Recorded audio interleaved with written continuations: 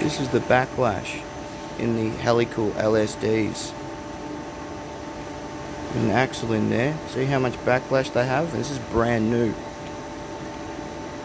That's the movement in the bores of the helical gears. See that movement? That's how much it'll go from reverse to drive. One inch of movement. That represents the radius of a wheel.